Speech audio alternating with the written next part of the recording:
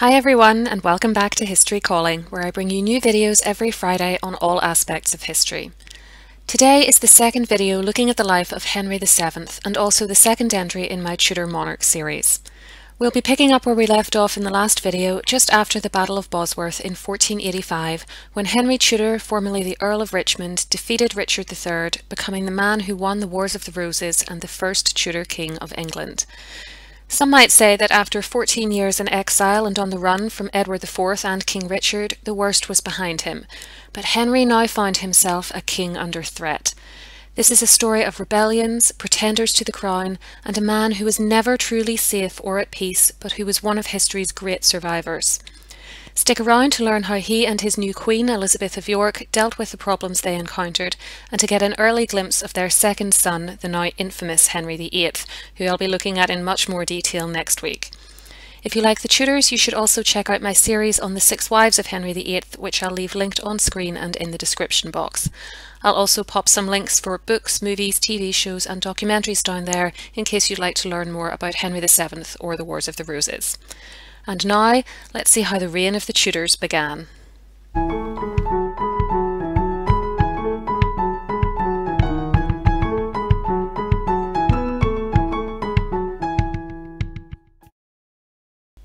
It's the 22nd of August 1485 and Henry Tudor has just won the Battle of Bosworth and been crowned King of England on the battlefield to the sound of acclamations from his soldiers and with the circlet which, until a matter of minutes ago, belonged to his newly deceased rival and predecessor Richard III. The Plantagenet era is over and the Tudor era has begun, but no one knows quite what to expect from the new king. He has never lived in England and prior to 1485 had perhaps only visited it once as a young teenager. He has no experience as a ruler or even a great landowner, having been stripped of his inheritance as a child, and few people in the country even know him. Establishing his authority and his dynasty will be an uphill struggle. In the weeks and months after the battle, Henry began to build his new regime. He arrived in London on the 3rd of September and soon rewarded his most loyal followers. Most notably, his paternal uncle, Jasper Tudor, who had spent the past 14 years in exile on the continent with him, was made the Duke of Bedford. His stepfather, Thomas Stanley, who intervened in the later stages of the Battle of Bosworth with his brother Sir William Stanley, helping Henry to secure a victory, was made the Earl of Derby. Sir William became Chamberlain of the household. Henry's mother, the formidable Lady Margaret Beaufort, sometimes known as the Red Queen, thanks to the book series by Philippa Gregory, links in the description box, had all her lands restored to her, having lost them in her fight to help Henry take the throne. She became known by the title of My Lady the King's Mother and was a dowager queen in all but name, remaining a powerful figure throughout the rest of his reign. Henry also appointed a large number of experienced administrators to help him run his new country, including many who had come with him from France. The king's formal coronation, an expensive and glittering affair, took place on the 30th of October in Westminster Abbey. Decades later, the chronicler Edward Hall would describe it thus. He with great pomp was conveyed to Westminster, and there the thirty day of October was, with all ceremonies accustomed, anointed and crowned king by the whole assent as well of the commons as of the nobility, and was named King Henry the Seventh of that name which kingdom he obtained and enjoyed as a thing by God elected and provided, and by his especial favour and gracious aspect compassed and achieved.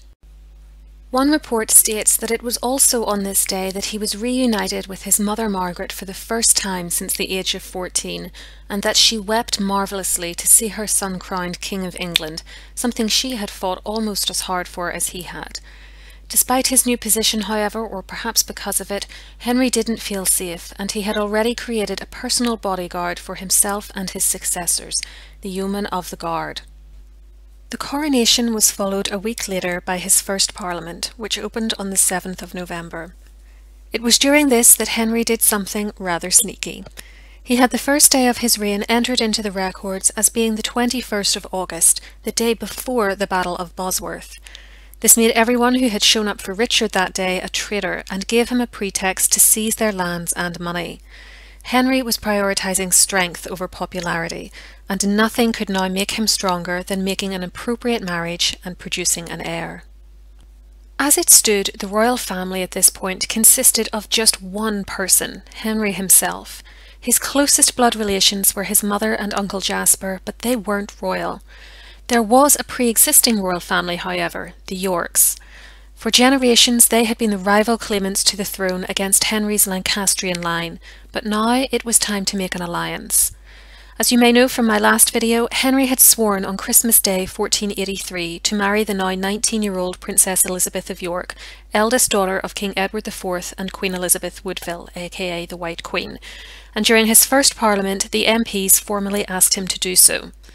There were a number of obstacles to overcome before this plan could be enacted, however. Elizabeth's uncle, Richard III, had declared her to be illegitimate and this had to be reversed by Parliament. As the two were distant cousins, a papal dispensation also had to be sought to allow the marriage to proceed.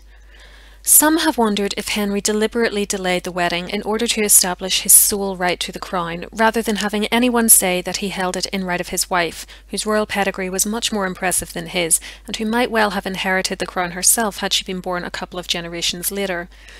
His biographer, S.B. Chrimes, the book is linked below, is scathing of this idea though, citing the obstacles I just mentioned, explaining that Henry was too busy during the first months of his reign to get married, and noting that he probably wanted to meet and get to know Elizabeth before they were wed. He concludes that actually, all things considered, matters moved pretty quickly. The wedding took place on the 18th of January 1486, though the final paperwork for the dispensation didn't come through until early March. Afterwards, Henry would create one of the most recognisable symbols of all time. By combining the white rose, which represented his wife's House of York, with the red rose, which represented his own Lancastrian ancestry, Henry made the Tudor rose, an image you can still see all over royal buildings to this day. The new dynasty was further strengthened by the birth of the couple's first son, Prince Arthur, who was named after the mythical King of Britain and who arrived at Winchester on the 19th of September, just eight months after their marriage. You can make of this timing what you will. Arthur may have been premature, or his parents may have slept together before their wedding ceremony. If Elizabeth was pregnant at the time of the marriage, it's important to understand this in the context of the times. The two were pre-contracted to be wed, and in the 15th century this was almost as good as a marriage itself. Indeed, sleeping together after being engaged would have been enough to make the marriage valid, and the later ceremony more of a formality. I do wonder if they wed before the final papal dispensation had come through because they realised that Elizabeth was expecting and wanted to have their marriage formally recognised, but this is just supposition on my part. Arthur would be followed by many other siblings, but only three survived infancy. These were Princess Margaret, born on the 28th of November 1489 and later Queen of Scotland and grandmother of Mary Queen of Scots. Then there was Prince Henry, Duke of York, the future Henry VIII, who was born on the 28th of June 1491. And finally, Princess Mary, future Queen of France and Duchess of Suffolk and grandmother of Lady Jane Grey. She came into the world on the 18th of March 1496.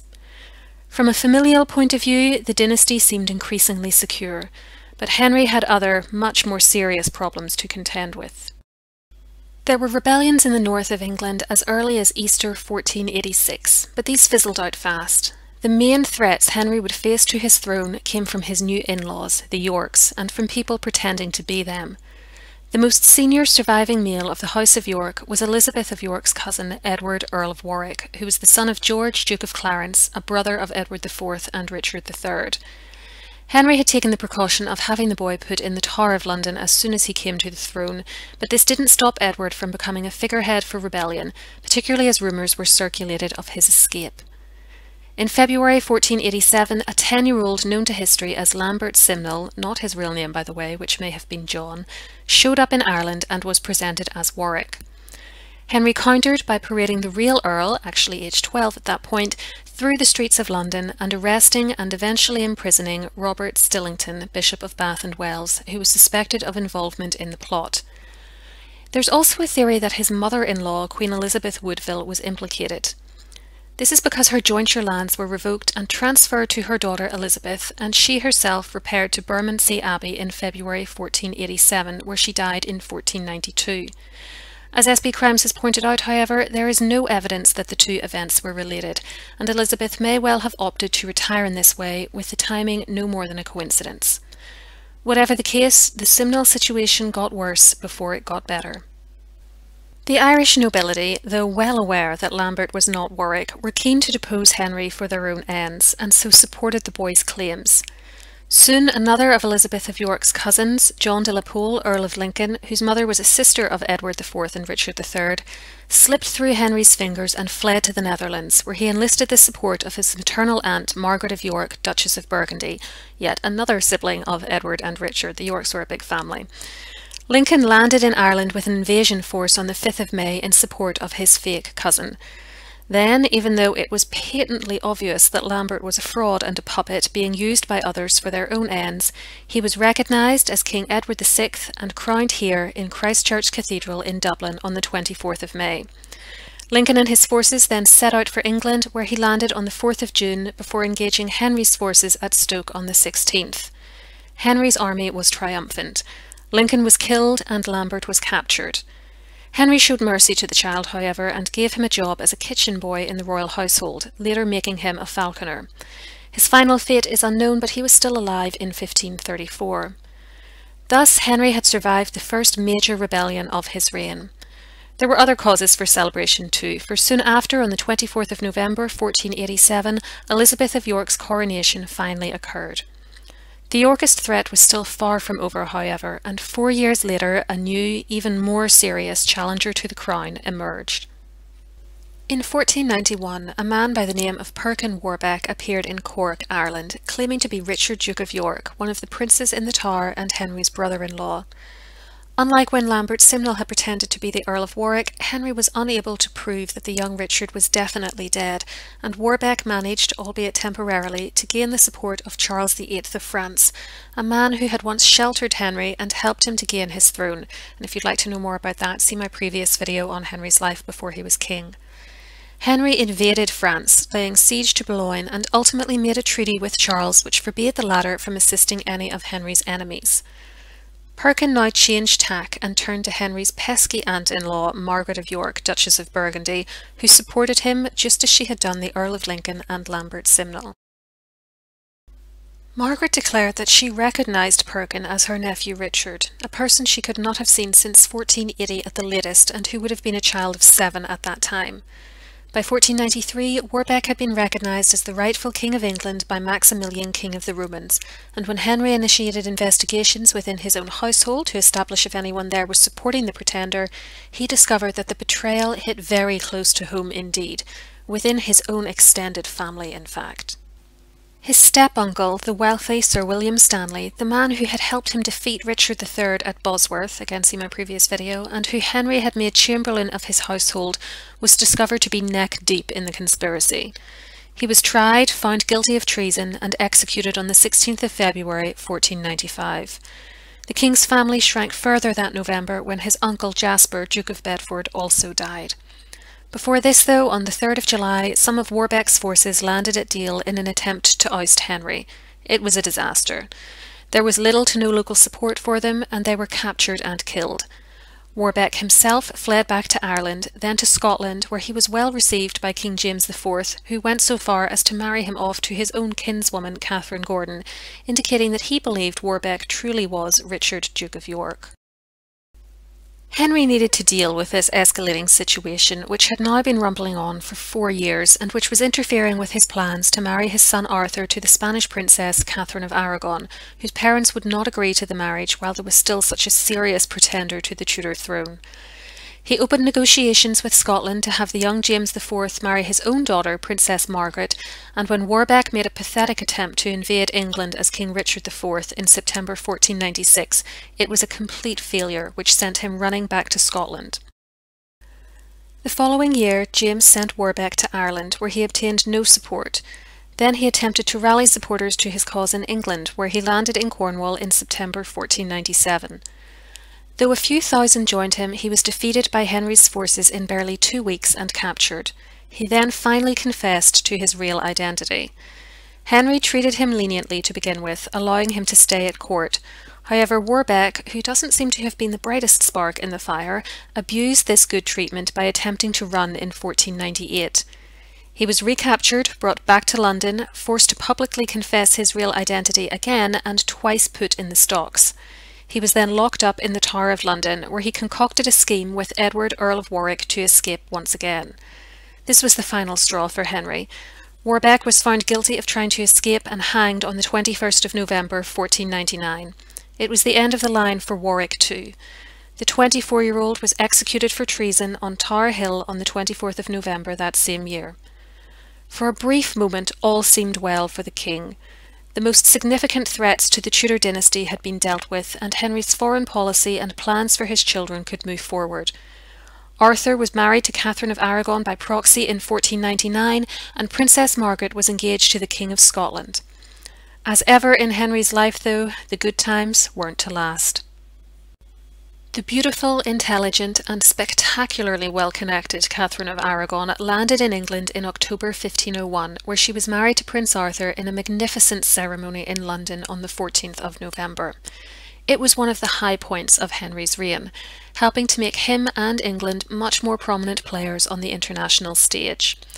Incidentally, you might want to check out my video looking at whether or not Arthur and Catherine consummated this marriage, as this question would turn out to be of critical importance during the reign of Catherine's second husband, Arthur's brother Henry VIII, when he used their prior relationship as brother and sister-in-law to petition for an annulment of their marriage in order to marry Anne Boleyn. In 1501, however, this was all decades in the future, and the Prince and Princess of Wales soon moved to the Principality and set up home in Ludlow Castle. Then, just four and a half months after the wedding, disaster struck. The 15-year-old Arthur fell ill and died on the 2nd of April 1502. When the news was brought to his parents at Greenwich Palace three days later, their grief was profound. Henry was awoken by his confessor and told what had happened, then sent for his wife. The scene between them then unfolded as follows. After that she was come, and saw the king her lord, and that natural and painful sorrow, as I have heard say, she with full great and constant comfortable words besought his grace that he would first after God remember the well of his own noble person, the comfort of his realm and of her.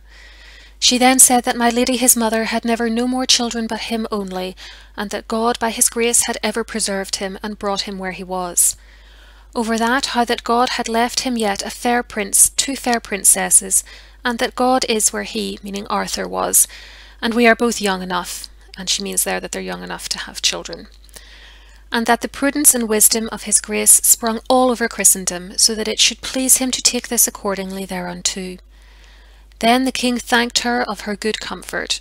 After that she departed and came to her own chamber, Natural and motherly remembrance of that great loss smote her so sorrowful to the heart that those about her were fain to send for the king to comfort her. Then his grace of true, gentle, and faithful love in good haste came and relieved her, and showed her how wise counsel she had given him before. And he for his part would thank God for his son, and would she should do in likewise. Elizabeth's point that they were both still young enough to have more children was of crucial importance, for no woman had ever successfully succeeded to the throne, and the entire Tudor dynasty now hung on the life of the ten-year-old Prince Henry. His parents needed another boy to be on the safe side. Within weeks, Elizabeth was pregnant once more, but instead of lessening their problems, it only led to additional tragedy. She gave birth on the 2nd of February 1503, but the baby was a girl, Catherine, and she died soon afterwards. Worse still, nine days after the birth, on the 11th of February, Elizabeth too died of childbed fever. It was her 37th birthday. Henry was beside himself with grief. Despite the circumstances of their marriage and their messy family life, which included him occasionally having to imprison or kill some of his in-laws, Theirs had been a happy union, and he seems to have genuinely loved her and she him. Furthermore, there is no record of him ever taking a mistress, a rare occurrence amongst English kings. Now, though, she was dead, as were five of the eight children she had borne him. Henry's family, his dynasty, and everything he'd fought so hard for his entire life seemed to be unravelling. He shut himself up in his rooms for a time, or as a contemporary source put it, privily departed to a solitary place, and would no man should resort unto him. He also temporarily cast off the reputation he had acquired for miserliness to provide a spectacular funeral and burial for Elizabeth at Westminster Abbey. When he emerged from his confinement, he began the task of trying to shore up and protect what remained of his children and his legacy. To preserve the Spanish alliance, his daughter-in-law Catherine had been quickly rebetrothed to Prince Henry in mid-1502, though her father-in-law would keep her in relative poverty for a princess, while he negotiated a new settlement with her parents, and in the end she would not marry her prince until after Henry VIII's accession. As for young Prince Henry himself, he was created Duke of Cornwall in late 1502, then Prince of Wales in 1503, and was essentially wrapped up in cotton wool by his father and kept mostly out of the public eye, lest anything should happen to him too. The marriage of 13-year-old Princess Margaret to James IV of Scotland also went ahead, and she departed England in the summer of 1503, just a few months after her mother and baby sister had died. Henry himself was now also available for remarriage, and though he never did take another wife, there were negotiations with a number of European countries for a prospective bride, and even talk of him marrying Catherine of Aragon himself. There were still Yorkist threats to the throne which remained to be tied up too. Edmund de la Pole, Earl of Suffolk, was yet another of Elizabeth of York's cousins, and a son of her paternal aunt, also, confusingly, called Elizabeth of York. Until the early 1500s, he had fared well in Henry's reign, having been too young to be caught up in the treasonous activities of his older brother, John Earl of Lincoln. Relations soured with Henry over financial and legal matters, however, including Suffolk's prosecution for murder. He fled into exile in 1500, and though persuaded to return on that occasion, he and his brother Richard de la Pole left again in August 1501, whereupon Suffolk attempted to arrange an invasion of England to take the crown from Henry. These plans came to nothing. By autumn 1505 he had been imprisoned by Philip von Liechtenstein at Namur, and in January 1506 he was seeking to negotiate with Henry for a safe return to England.